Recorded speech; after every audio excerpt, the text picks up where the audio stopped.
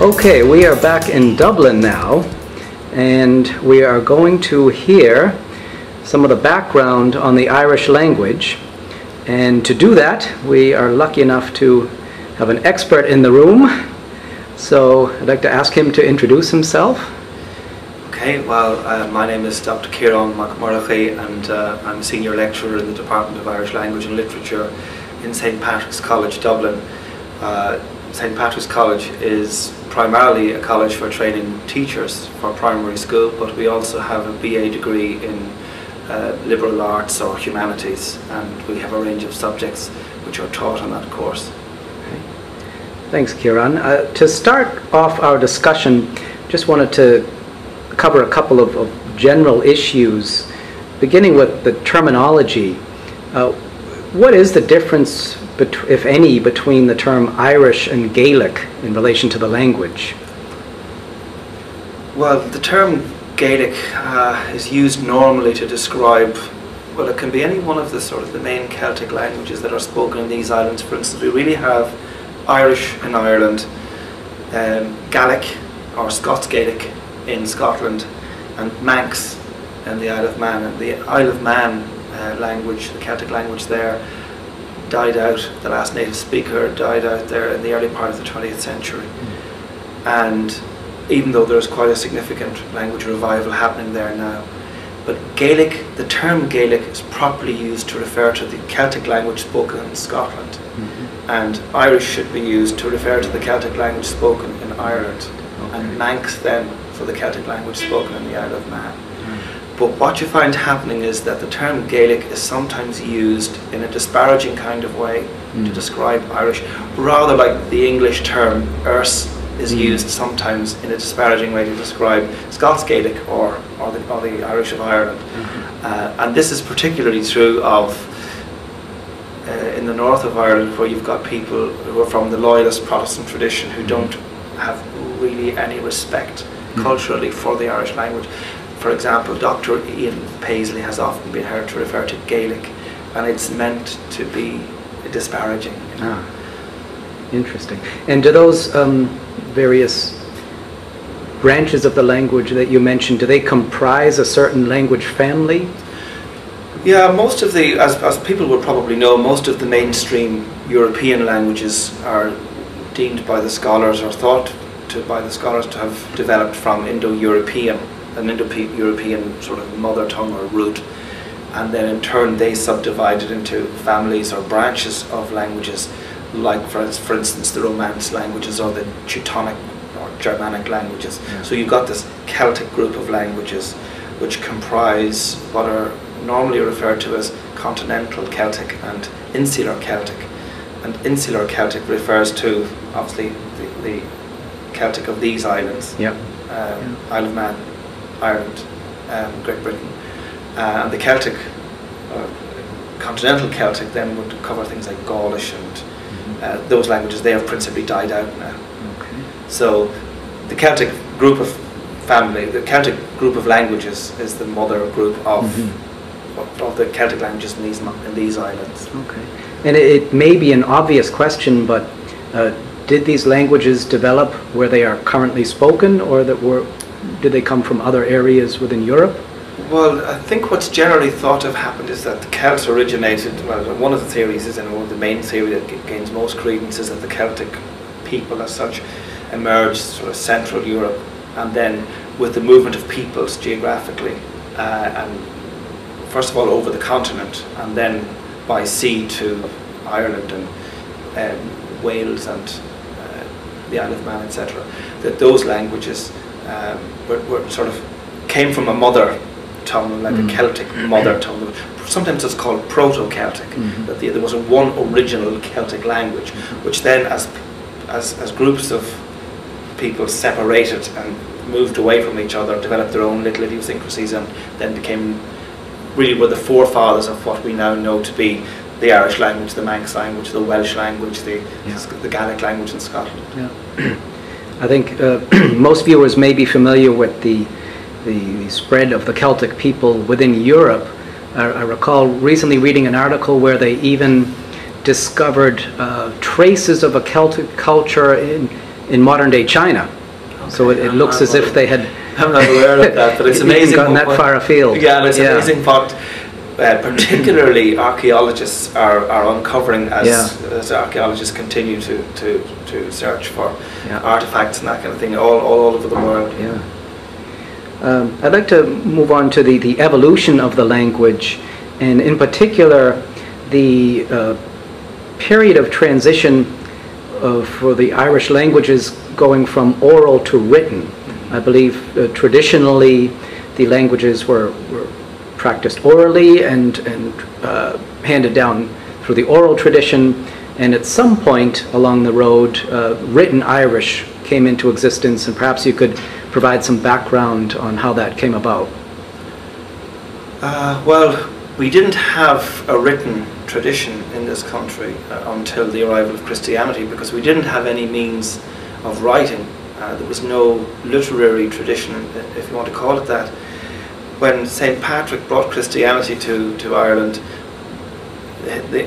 shortly after that came the monastic, Christ, the early Christian system of um, groups of monks gathering together in small enclaves, which then gave rise in due course to the monasteries. Uh, and obviously, the first alphabet we had was the Latin alphabet. We didn't have an alphabet. The previous method of, of recording material in Ireland was the Ogham, or sometimes people call it the Ogham. But it's O G H A M, but it's properly pronounced Ogham. Uh, and but it was a very primitive system of just carvings on the edge of standing stones, Mhm.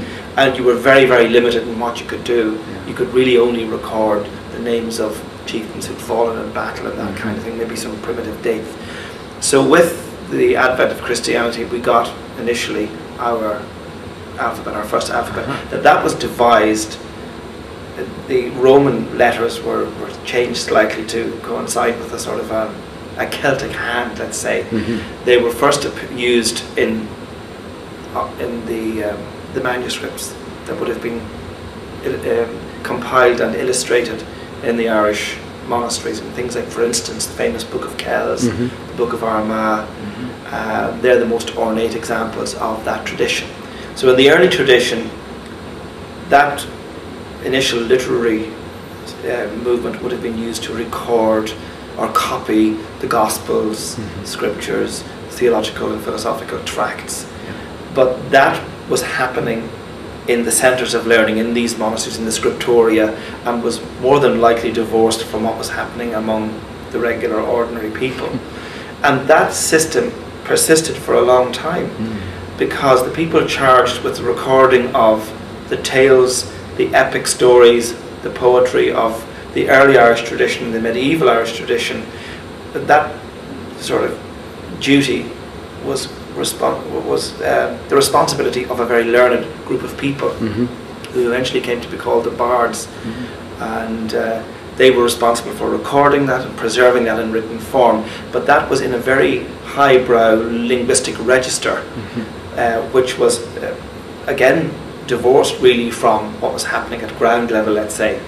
And it was only really into the really into the 18th century that we began to have an evolving literary culture Mhm. in written form because at that stage as was happening all over Europe the print Mhm. um, movement was growing in popularity and um, the print uh, the medieval and later medieval and early modern print if you want to call it a print tradition in Ireland was really kept to the manuscripts and even in the 1800s and 1900s, scribes were still recording longhand Mm. stories and things that might have been published in printed form. To give you a very good example, the topic for my PhD thesis was a collection of sermons which were written in Irish by a bishop who, who lived first of all uh, in Donegal in northwest Ireland and was then translated as bishop from Donegal to Kildare, which is technically in what they call the Pale, the area in the Greater Dublin, outside the Greater Dublin area where the English administration was strongest. And when Bishop Gallagher published these sermons, he published them in written form, printed form, sorry, in 1736. There is no surviving handwritten copy, if ever there was such a thing, I'm assuming, at some point. He wrote notes out. In 150 years later, those sermons, which were very, very popular in the oral tradition and the, religious tradition, were being copied longhand by scribes uh, in, vellum manuscripts and in sort of paper manuscripts throughout the country, when they had already been printed uh, in, in Latin, Yeah. in the Latin, using the Latin or the Roman uh, letters, 150 years earlier. So that tradition, that, that link between the, the oral tradition was extremely strong. Yeah. Uh, and to, to use that example of those sermons, just to, uh, for, to illustrate the point further, those sermons, in my thesis, each one runs to about 15 typewritten A4 double spaced pages. Mhm. That's, that, that's quite a lot of material.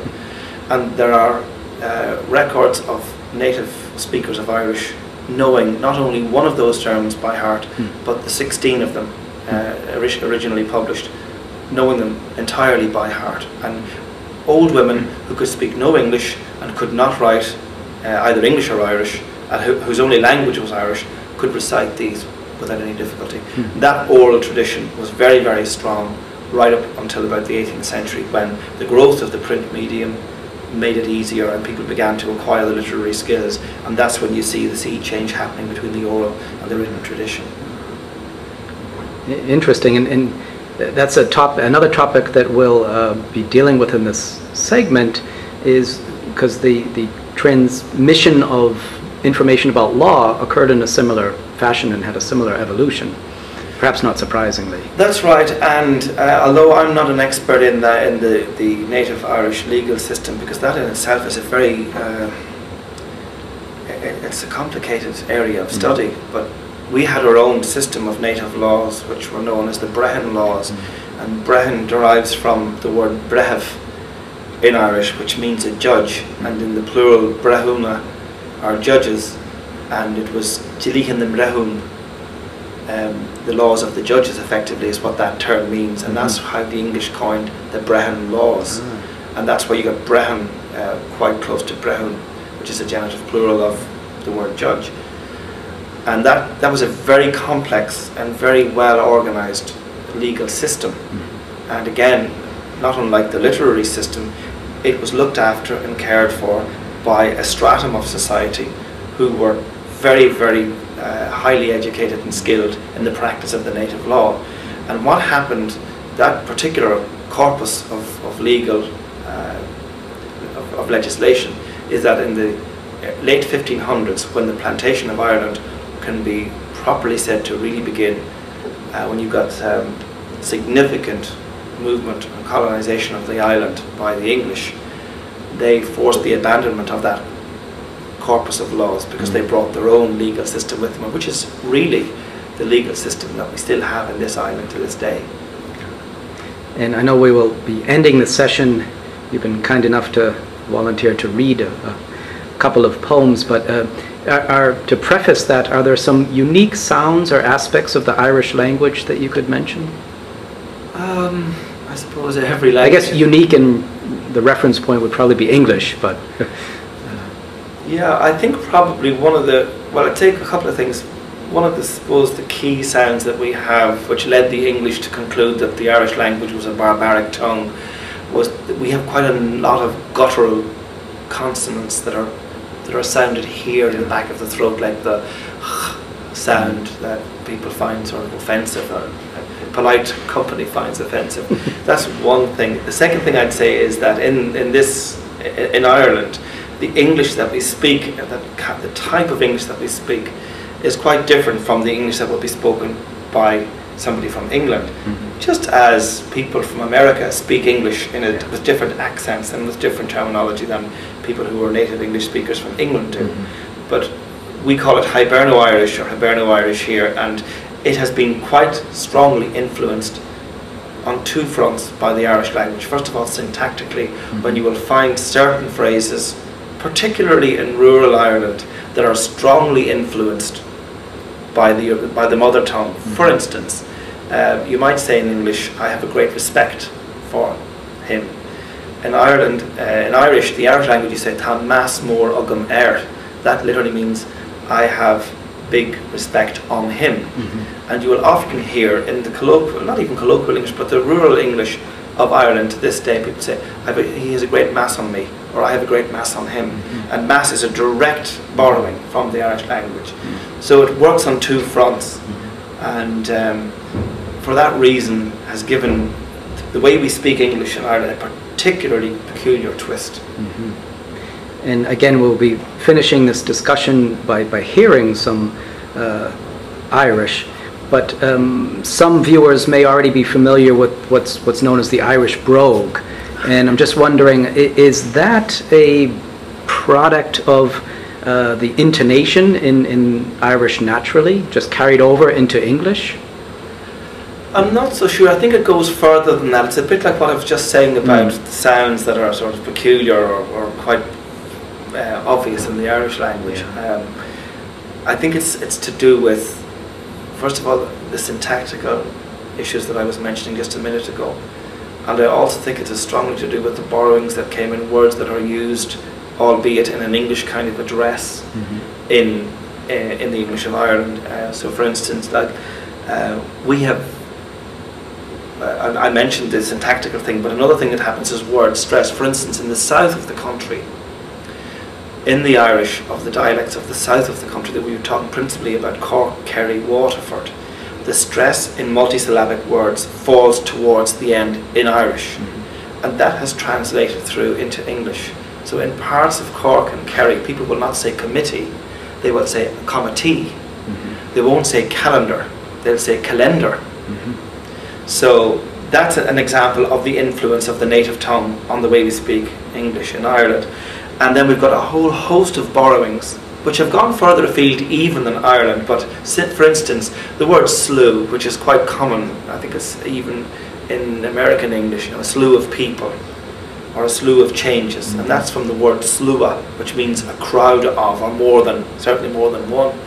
Um, I mentioned the word mass mm-hmm. and people you'll hear people say here oh he has a great gra for for Joyce mm-hmm. and gra and it's pronounced the same way. It might be spelled G-R-A-W in English mm-hmm. but it's G-R-A acute accent mm-hmm. in Irish and it means a love. It means love. So oh he's a great gra for Shakespeare would mean he's a great love of the literature of Shakespeare or the Yeah. plays of Shakespeare.